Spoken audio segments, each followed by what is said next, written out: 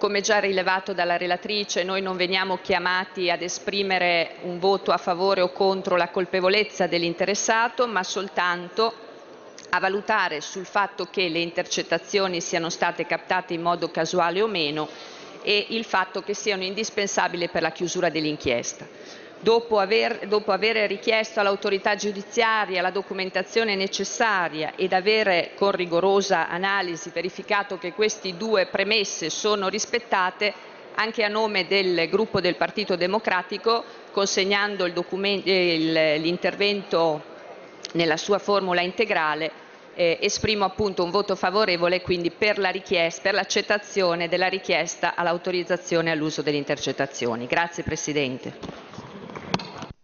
La ringrazio onorevole Garavini. A questo punto, se nessun altro chiede di intervenire, per dichiarazione di voto indico la votazione nominale mediante procedimento elettronico sulla proposta della Giunta di concedere l'autorizzazione all'utilizzo di intercettazioni e conversazioni nei confronti di Marco Pugliese, deputato all'epoca dei fatti.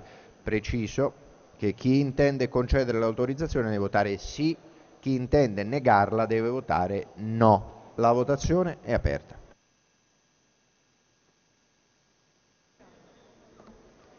Nel frattempo che i colleghi prendono posto, salutiamo studenti e insegnanti dell'Istituto Tecnico Commerciale e Liceo Linguistico Lucio Lombardi Radice di Roma che assistono ai nostri lavori dalla tribuna.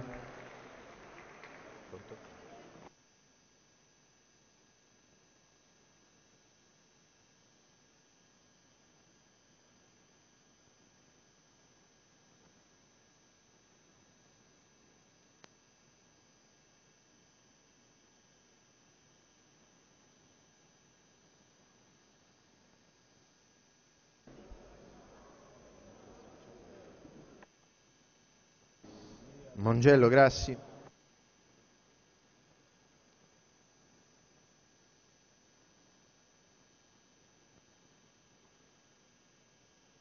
Aspettiamo gli ultimi colleghi che prendono posto, poi chiudiamo.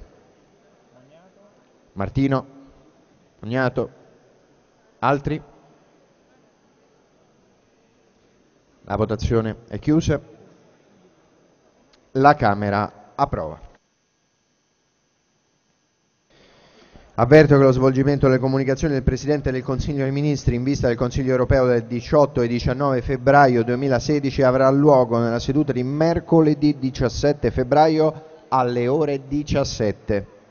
L'organizzazione dei tempi per la discussione sarà pubblicata in calcio al resoconto stenografico della seduta di oggi. Onorevole Sarro ha chiesto di intervenire per fine seduta. Prego.